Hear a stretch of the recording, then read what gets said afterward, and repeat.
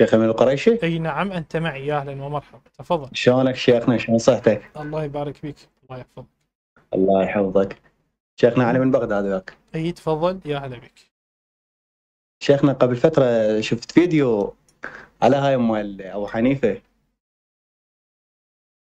قلت بي دافنين مطي آه، تكرم بكانة صدق لو كذب هاي لا لا مو هاي مطي. ظلت بالي. المطي كبير. آه.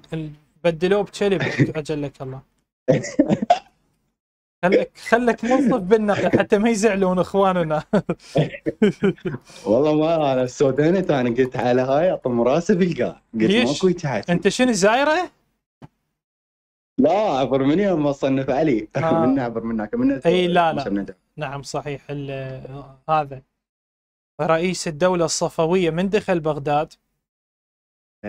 قال إنه قال هذا منو هذا السرسري الدافنين هنا بالعظمية ياك- ياكلون يم سمك جري. تدري أنت بعد. خطية يلعبون بالمولد شي تركب شي وبعدين ياكلون سمك جري بعدين يطبون يبولون عليه.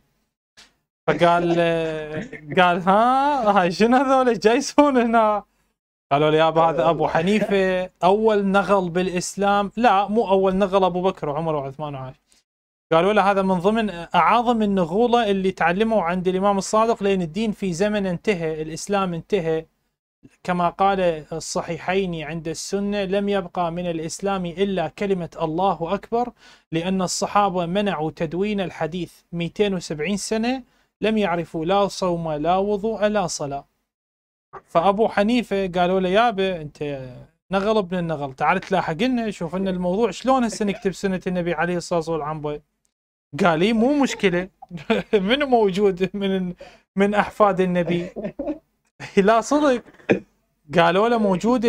جعفر الصادق عليه السلام الإمام جعفر الصادق قال لي الروح. شي يقول هو هذا معناها معلومة إسلامية إحنا نحرفها فهو هو شي يقول؟ يقول خالفت جعفر الصادق في كل شيء. حتى حينما يسجد كنت لا أعلم أيغمض عيناه أم يفتح عيناه فكنت أغمض عين وأفتح الأخرى شوف شوف شوف لعنه الله إن شاء الله يقول ما أعرف هو بالسجود يغمض عيونه لو يفتحهم يقول أنا كنت أغمض عين وأفتح عين حتى خالفه ما أريد أصير مثله هذا ابو حنيفة هذا أبو حنيفة. النغل إيه هذا هذا هذا النغل جايين. هسه هذا جايين. سلب بكانه هي تكرم. هسه جايين. فهو شنو سوى لهم دين دين الحنفي والحمد لله. دق السمك جري ويلعبون بالمولد شي تصعد فوق شي ومتونسين مرتاحين. وبالفترة الأخيرة بدأت الناس تجيهم من غير محافظات لأن يقول لك صايرة وضعية خربانة يعني للصبح أي. والله. ف من اجى هذا أبو الصفوي ال- رئيس الدولة الصفوية الشاه؟ دخل بغداد. فقالوا له هذا هيك هيك سالفه أبو حنيفة. كان يخالف الصادق وسوى له دين. قال صدق كذب هذا هذا نعلى على دينه طلعوه. طلعوه.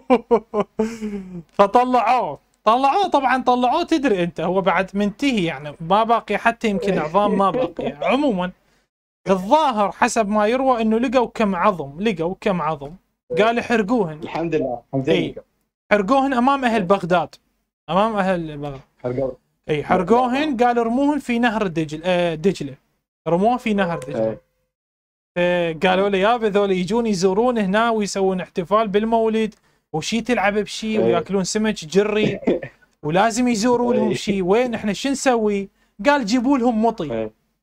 قالوا له. المطي إذا شلنا ودفنا هذا المطي كبير أكبر من. الإسلام ضخم قال لهم قال لهم لبسوهم كلب والله عاد خطية الشباب. دوروا دوروا وتدري انت بذاك الوقت بغداد الكلاب بيها بالأطراف المدينة.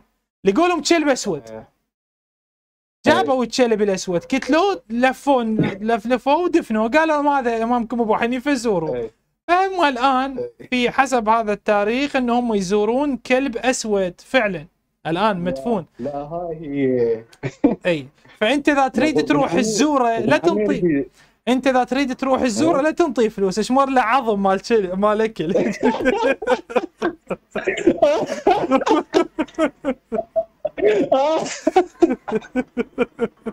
ابن عمي قبل فترة بالزياره قال له قال نروح نزوره قال شو سوى؟ قال لا عرف أعرف أبوه لا أعرف ابنه لا أعرف شو يصير من يمه ياخذ لك عظم ما أنا ليش؟ قلت قلت بعد كم يوم الزيارة قلت خلنا نشوف بالله شنو هذا؟ صديق إذا اسال هناك إذا اسال هناك الموالين اللي يمه الحراس إذا اسالهم أقول لهم صدق مدفون كلب بس خاف يقتلونه سيد لا لا أنت خذها من عندي ما يحتاج لا تسألهم. بس أنت شنو كلمة زور طب يمه بس يعني تكرم والشغل يعني هذا وخلص وطهر نفسك وروح للإمام طاهر جيد؟ يعني اعتبره هو الحمامات مالتك. اي صدق والله العظيم مو هيك مسوين مسوين الحم...